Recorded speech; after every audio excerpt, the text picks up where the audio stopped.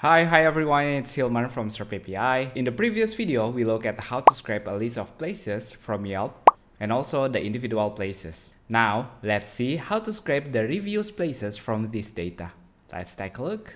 We will use Yelp Reviews API by SerpApi. The only required parameter for this is the place ID. You can get this value by using our Yelp Search API in the response, you'll be able to see two type of place IDs. First one is the gibberish one, and the second one is the prettified slug. We can only use the first type of the place ID, so make sure to use this ID rather than the second one.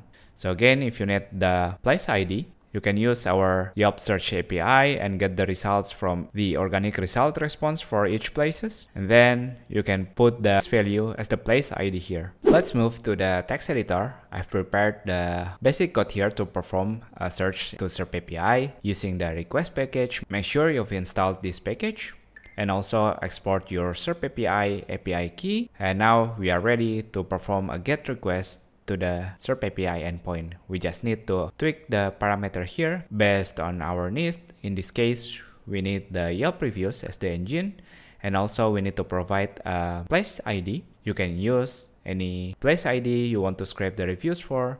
In this case, I'm using the this default example from the documentation. Now let's run the search. And as you can see here, we are able to retrieve the reviews result here under the reviews response we can get the user data, the comment, and other meta information here. You can loop and do whatever you want with each of the reviews.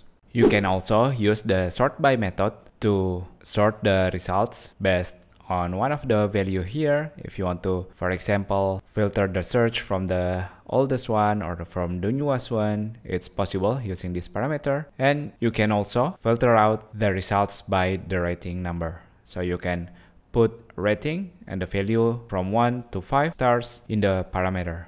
Let's try these filters. First, we will add a rating 5 to only show the reviews with 5 rating stars and sort by to sort the results. Now let's run this and now we should only see the reviews with 5 ratings in it and it should be sorted by the date. As you can see here, and here and so on. So we are able to scrape the first page of the review. Let's learn how to paginate the results. By default, we return 49 results per page or per request. It's also the maximum number of reviews that we can retrieve per search. In order to paginate the results, we can increase the start parameter, which acts as the offset. So for example, for the second page, we will need uh, 49 times 2, which is uh, 98, and so on for the third page, fourth page, and so on. To verify the result number, we'll print the length of the response reviews, and we should be able to see the total reviews, which is 49. So I'll replace this whole code and wrap it in a loop.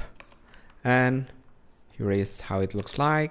I've prepared two variables start and total reviews to see at the end how many reviews that we got. Uh, we will increase the start parameter by the num number, which is 49 by default, and include the start and num parameter alongside other parameters. We will sum the total reviews before we print it and also see the total reviews for each loop. And don't forget to break this while loop, otherwise it will run infinitely. Now let's just start, let's run the program. And also for reference, this is the place that we currently scrape. It has around 300 reviews or 304 to be exact. If we compare it with our scraper, it has total reviews of 304. So we are able to scrape all the results with this pagination method. That's it. I hope you like it. See you on the next video. Bye.